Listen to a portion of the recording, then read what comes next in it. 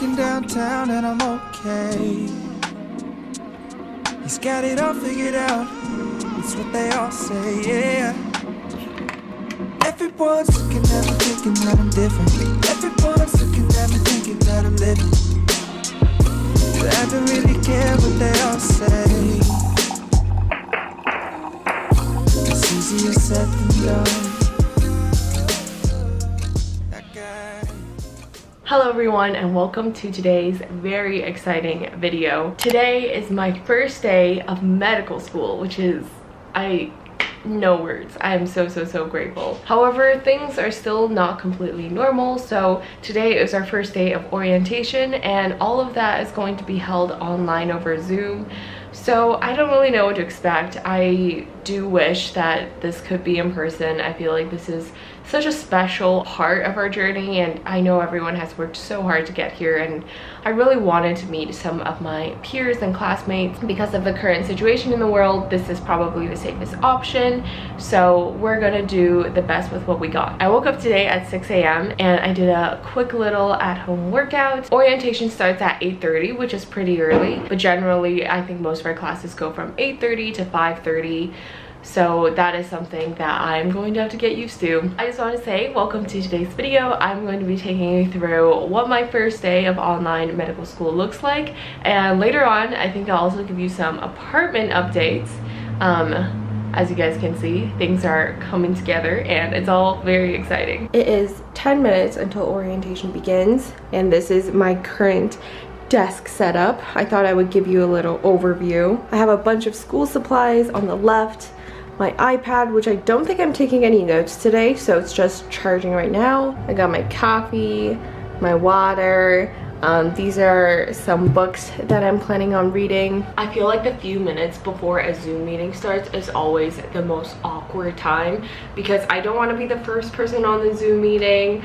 So I wait until it's like 10 seconds before the meeting time and then I click in. So that's what I'm gonna do today. But I'm super excited. We are starting off today with kind of a general welcome message, um, talking about how medical school works, how to be successful, how exams work. And then we have a lunch break from 12 to 1. My medical school curriculum also includes small group sessions. So we all have our own small groups that we are going to work with in terms of learning content and just group projects to help promote collaboration and all that. So I'm going to be doing a practice meet and greet with my small group today. All in all, today's whole thing will be from 8.30 to 3.30. So that'll be really nice. I'll have the afternoon to kind of decompress a little bit. Eight minutes until the Zoom meeting starts. Gonna wait until the last possible minute to join. It really is an incredible journey. Um, that first day of school, I met some of my lifelong friends. You've heard that from many people, so this is not unique.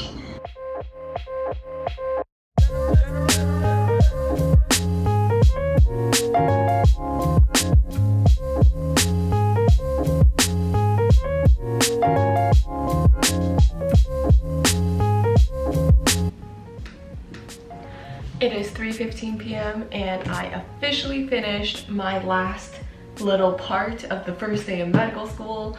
For the last half hour, we did our small group meeting and it was super fun. Um, I'm really excited to get to know my small group better. Overall, my first day was super inspiring. We got to hear from a lot of the faculty and I just think it's so great that all of the faculty are educators, are doctors themselves because they provided a lot of just wisdom and experience about the profession and the field. It was so lovely just hearing about their family lives too outside of medicine. So I'm just so excited to be pursuing this career and to be part of it. That being said, there were some parts that were more engaging than others. And tomorrow we're going to have some more sessions talking about mental health, immunizations, study habits, etc, etc. So I'm looking forward to those as well.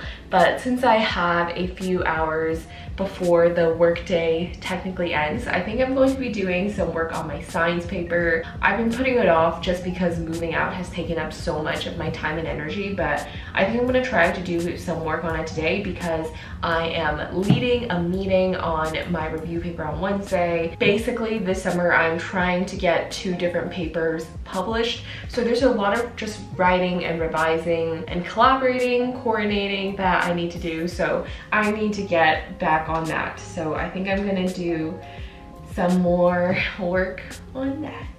But yeah, super great first day. Awesome, awesome, awesome. Feeling super grateful.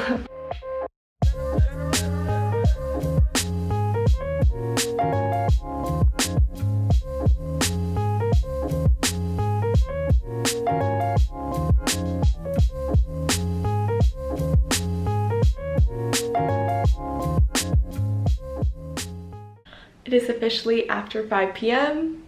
I'm done working. I wonder what we're gonna do now.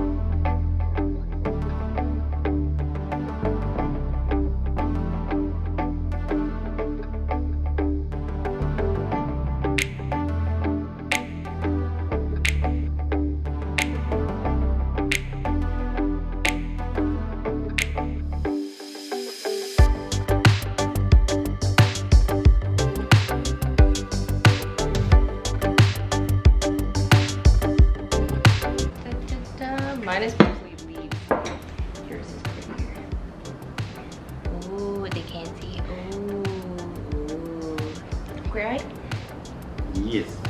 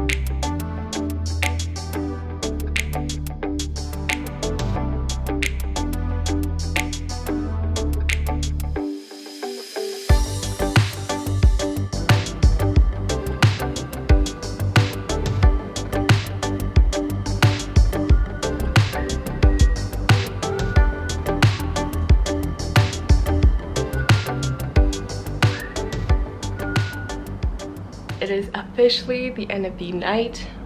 I did my skincare. I put on a face oil, so that's why I'm super shiny right now. But I thought I would just end off this video. I inputted all of my classes into my calendar app. So basically tomorrow is going to be another long day of orientation. My last session ends at 5.30 and I also have a bank meeting in between to finalize my paperwork for student lines of credit. That last little clip was a little sneak peek of our apartment so far.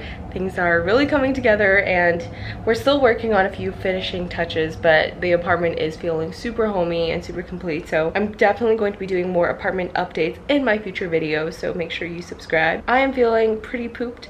It is getting kind of late, so I think I'm going to do some reading and then go to bed. Right now, the book I'm reading is 21 Lessons for the 21st Century by Yuval Noah Harari.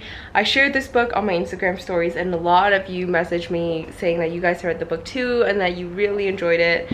So far, I am really enjoying it too. Even though I feel that there are some ideas or views that may be a little bit overblown, um, dystopic and doesn't really address the limitations of the science.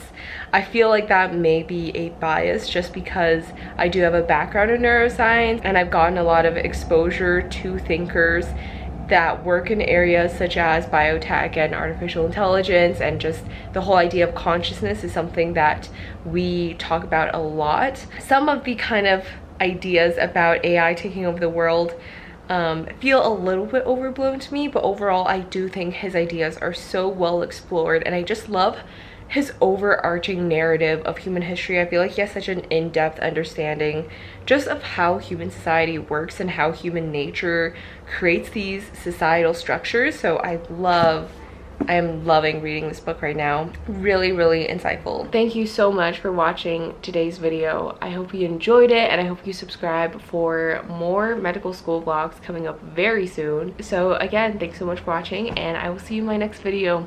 Bye! It's not a game, it's a thing.